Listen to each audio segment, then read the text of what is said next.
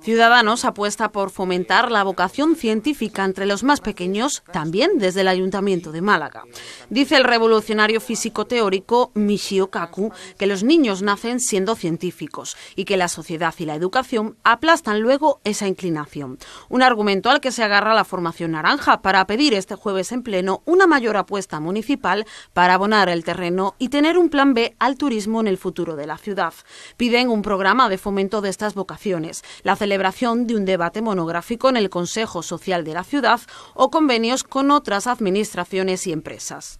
Ciudadanos cree que el ayuntamiento puede ser palanca para impulsar eh, eh, medidas que favorezcan la implicación de nuestros jóvenes en, esa vocación científica. Ya saben que en el, en el año 2015 nosotros firmamos el manifiesto Málaga Code, Después negociamos con el equipo de gobierno para ver reflejadas eh, iniciativas en, el presupuesto.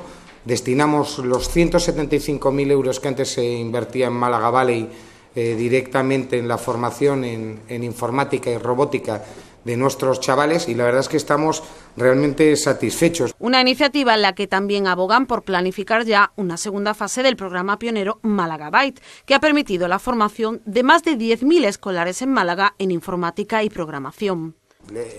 Los que nos siguen tienen claro que una de nuestras apuestas es traer eh, universidad privada a la ciudad de Málaga.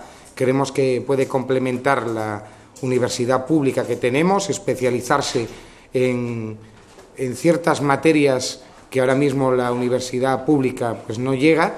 Ya saben ustedes que el 70% de las nuevas profesiones que va a haber dentro de 25 años hoy no se conocen, por lo tanto tenemos que estar preparados, tenemos que tener ese marco eh, y esto creemos y creo que tiene que ir de la mano de las universidades privadas, pues para focalizar la formación en temas eh, muy técnicos y en profesiones que hoy desconocemos, pero que estamos seguros que en los próximos 5 o 10 años pues vamos a tener muchas pistas. Además, la propuesta recoge la idea de desarrollar un programa de patentes y soluciones tecnológicas para la ciudad.